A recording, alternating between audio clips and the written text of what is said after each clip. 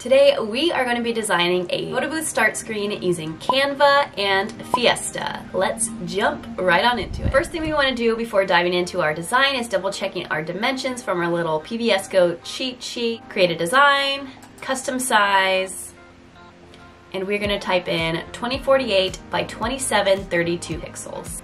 We are designing a start screen for a wedding today, and the client just filled out my photo booth customization questionnaire, so we're gonna use that as our inspiration and our sort of mood board, if you will. Grab all the details we need for this design. It's a great thing about Honeybook if you're using that as your CRM. You can customize questionnaires so that your clients can upload files directly into the questionnaire responses. This is going to be a drop off. It looks pretty earthy. We got some florals. The engagement picture that they sent me is them overlooking like a mountain and some water. It's beautiful. Okay, I know my clients want a simple image with text over it. The text that they want is their names, the date, and tap to start. So pretty simple. I am going to see what fonts I'm liking here in Canva. I think the bottom font in this pair could actually work pretty well.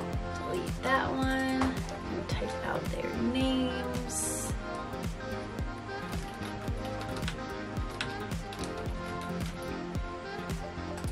I will do the date in a second one, so I'll duplicate that, put the date, I'll make the date text a bit smaller. Do tap to start in the same font down at the bottom here. Perfect. We can bring in their image. Either put the picture in the corner and drag it down until you like how it looks, or you can just right click on it, scroll down and click set image as background. Now that the image is in the background, I am going to make the text pop a little bit more. So we're gonna change the color to white and we are going to click on effects. I wanna increase the intensity on the lift a bit more. Next, I want to animate the tap to start because I want that to stand out to people as they're coming up to use the booth so it's very clear what they have to do. I'm going to click on animate, text, and then let's try out a couple clarify. Not exactly the vibe. Let's try merge. I like that one. Once I like the design, I'm going to click on share and then download. Make sure that your file format is an MP4 video if you have any animations or elements that you want moving.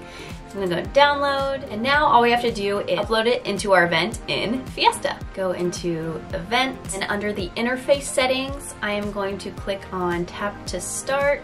I'm gonna click on change, upload from your device, select file. You'll be able to see a preview of what it'll look like. Upload and you'll get the little live view on the side. And then what I do in my business is once I have my template design or overlay and my tap to start screen ready to go, I will send a questionnaire to the client via my CRM Honeybook and I will ask for their approval. So they can either say, yes, this is perfect, let's do it. I like it, but let's tweak a couple things. Or they can just outright say, no, this is not this is not it and we want to completely scrap this idea and start from scratch. They can do that super quickly without a ton of back and forth just by sending them one questionnaire and then I will make any updates they want from there. It is as easy as that. That is how you design a tap to start screen using Fiesta and Canva.